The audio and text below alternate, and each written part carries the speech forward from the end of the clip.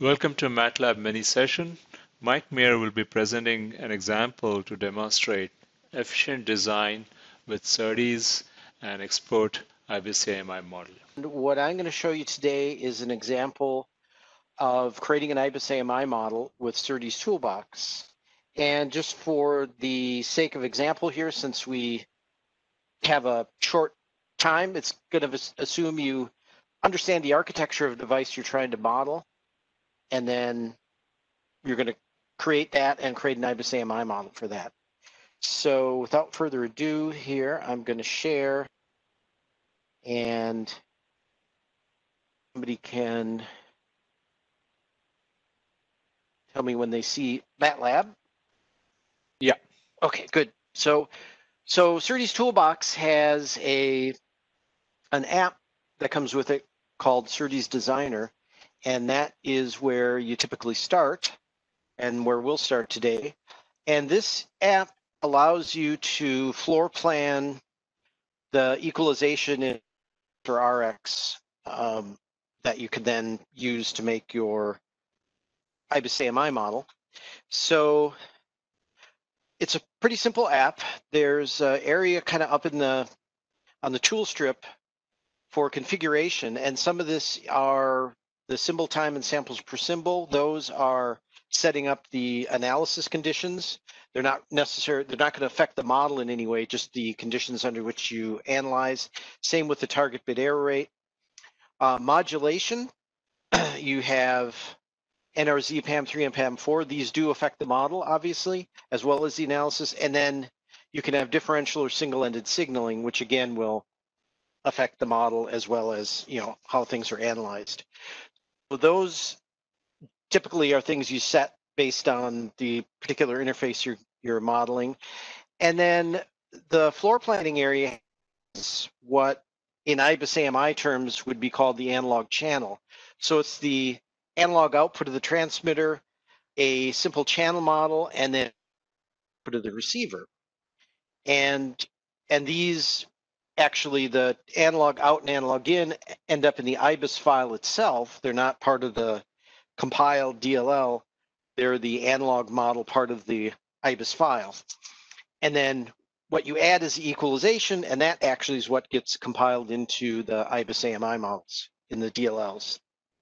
Um, so let's say, you know, just for the sake of example here, we've got a transmitter that has an FFE. And so we just click on our blocks we have here. And for the sake of example, let's say we have a CTLE in the receiver and a DFE CDR. You know, we have other blocks here in the block library, you know, uh, AGC, so automatic gain control, variable gain amplifier, uh, saturating amplifier, and a CDR by itself. And then a pass-through block, we won't have time to talk about that, but for customization purposes, if you're trying to do something that isn't here, that's very custom in Simulink, it's handy to put down a pass-through block and then fill it in in Simulink essentially. But we'll just stick with the standard blocks here. And for all these blocks, there's configuration. So for example, the FFE, let's say, um, you know, we know how many taps. Uh, by default here, they're down kind of below and left, there's a vector.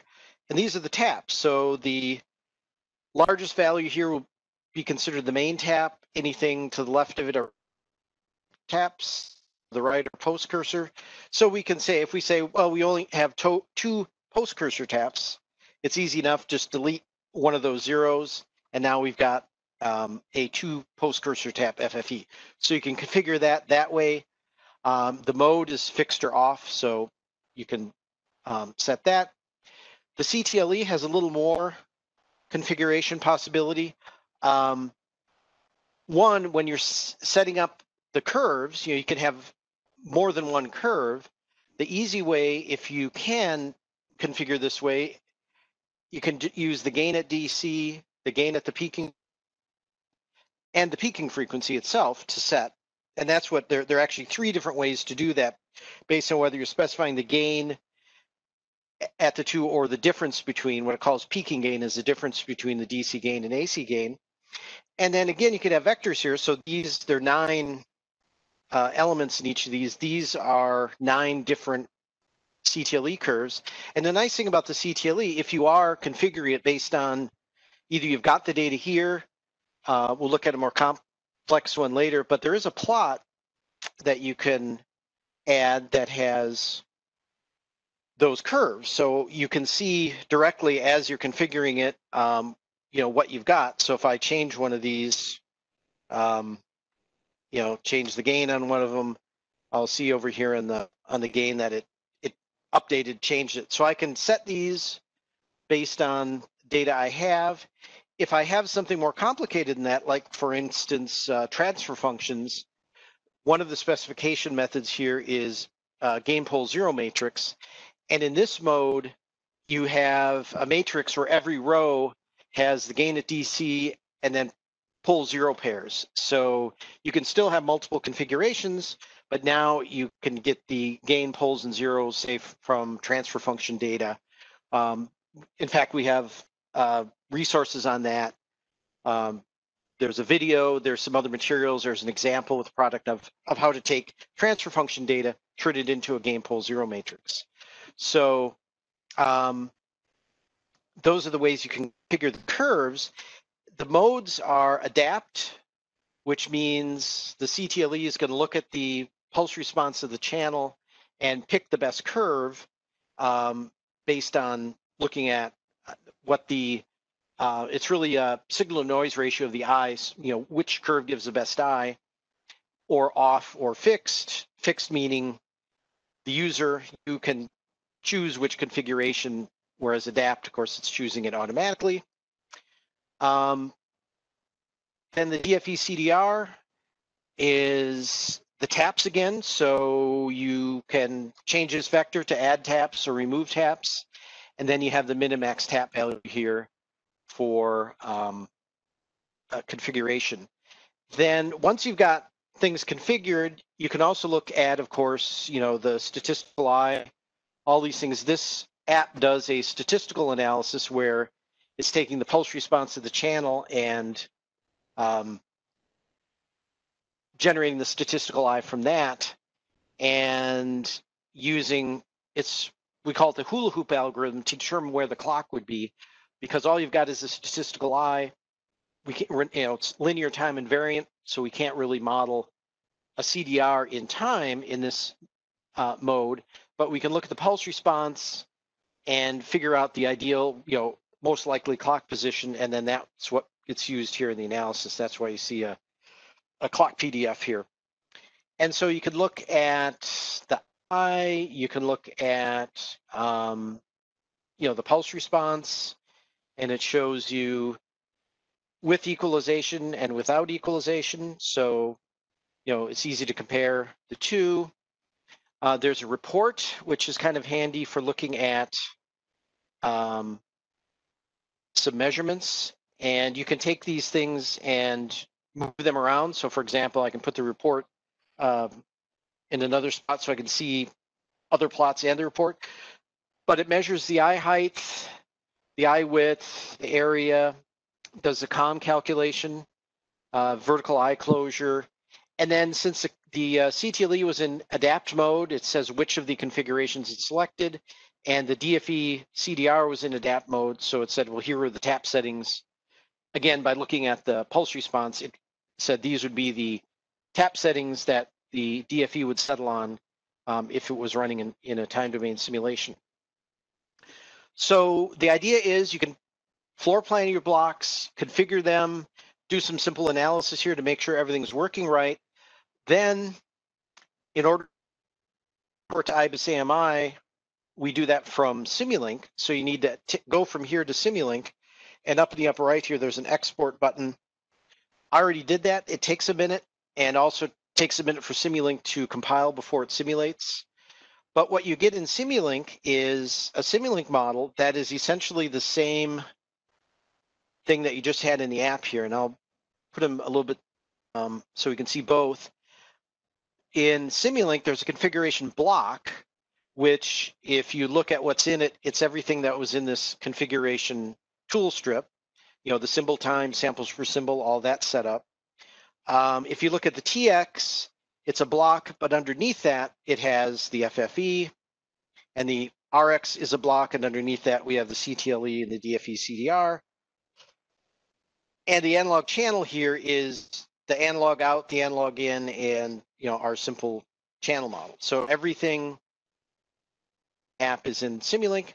In addition, it's got a stimulus block because now we can run a time domain simulation. And then there's this eye diagram scope at the end. So I'm just going to run this and it's going to run a time domain simulation. And it also is going to run the same statistical analysis that the app ran. So we'll see here when the simulation is done that we'll have um, multiple windows here of results.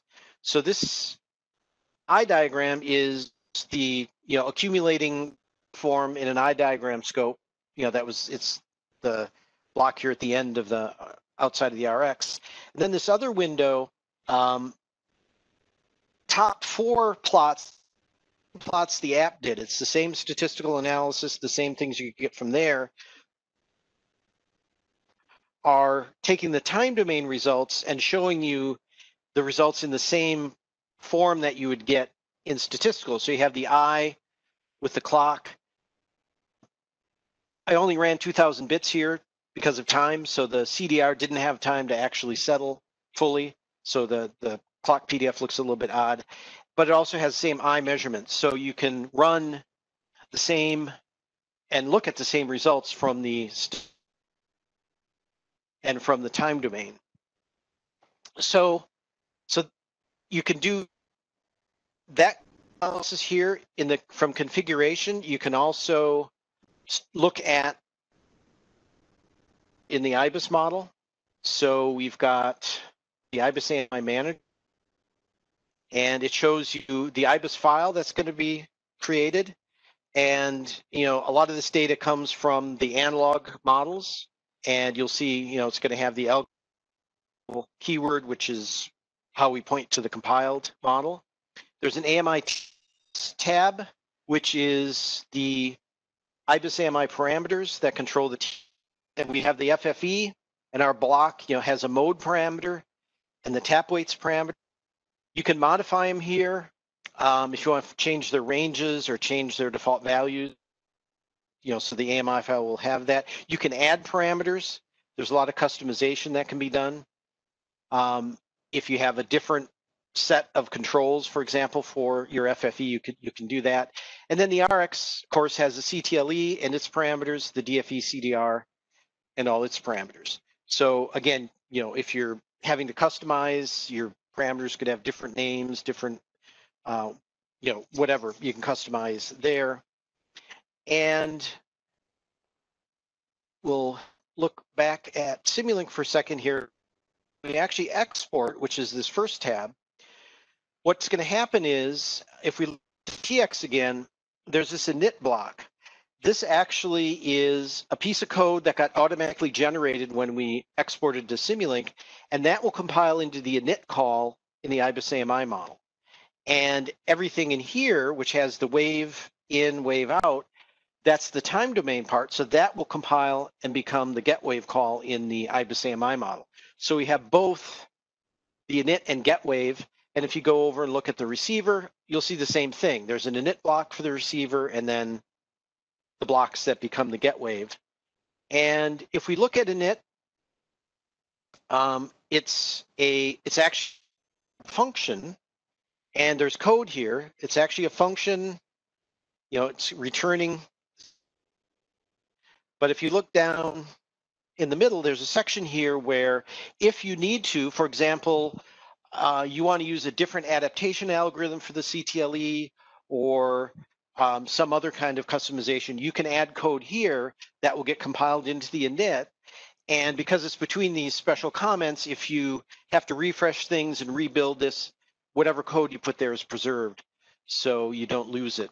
And above it, what's happening here in init is it's instantiating a CTLE. This is, you know, the RX, and then setting its parameters. It's instantiating a DFE CDR, setting its parameters. And then you could have code here to do things. And then it's calling each one with the impulse response so it can do its adaptation and return the impulse response with the equalization included. So it's doing everything that an IBIS AMI init call is supposed to do. And so that's how we can compile and have both um, the init and the get wave in our model. So if we go back to our IBIS AMI manager, so the way we export, we have you know some controls here to say, are we exporting both the TX and RX or are we exporting an IO model? If you look at uh, say DDR5, you you might instead of a separate receiver and transmitter model. Um, you redrivers and retimers, that's keywords to link a receiver and transmitter together to be a redriver or retimer. You know, you can name them. Um, for the corners in the analog model, you can set how much the min and max are off in percentage from the typical. You can say whether they're both init and get wave or one or the other only for both the RX and TX. Ignore bits is an IBIS AMI parameter that says we're going to not start accumulating in time domain until that many bits have simulated so that the CDR and the DFE have time to stabilize and they're at a stable, steady state condition. And then, you know, you can say what you're going to export, whether all the files or not. You hit the export button. It uses MATLAB coder and Simulink coder, and then you have a, if you have a supported compiler, C compiler on your machine, it will compile into a DLL. And what you end up with, which I have, there's a, you know, there's an IBIS file um, that it writes out that has models that came from those analog models. There's the RX AMI file, which has you know all the parameters. You know, here's the CTLE, its parameters, and there's TX AMI file, again, you know, with the FFE parameters. And then we have the DLL for the RX and the DLL for the TX. So it's a complete set of files written out, ready to go. They're IBIS AMI standard. They'll run in any uh, AMI simulator. And at this point, you're good to go. You can take those and run them in any um, simulator. So I think we're within time. And that is probably the briefest over that process we can give. There's a lot more that could be said, especially if you're customizing things. There's a lot more to be done, but there there are a lot of resources available, and obviously we're happy if somebody wants to know more about it to you know talk about that. That concludes the session. Thank you for watching. For this example and more, please visit the SerDes Toolbox product page at mathworks.com. Thank you.